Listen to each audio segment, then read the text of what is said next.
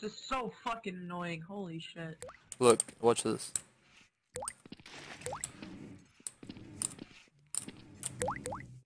Like that.